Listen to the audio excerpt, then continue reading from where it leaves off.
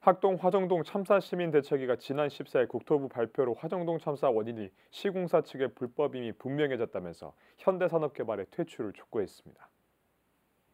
시민 대책위는 불과 6개월 전 학동에서 동일한 사고로 되고도 자정 노력이 없이 화정동 참사를 일으킨 현대산업개발에 취할 조치는 건설업 등록 말소밖에 없다고 강하게 비판했습니다.